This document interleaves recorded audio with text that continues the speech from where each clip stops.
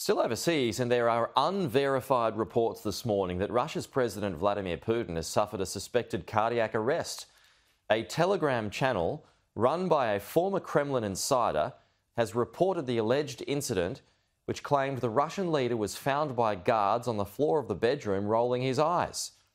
The channel regularly posts reports about the 71 year old leader's apparent ill health. There was no immediate response from the Kremlin.